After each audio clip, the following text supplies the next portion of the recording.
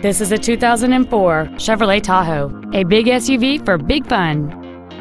It features a 5.3-liter, eight-cylinder engine, a four-speed automatic transmission, and four-wheel drive.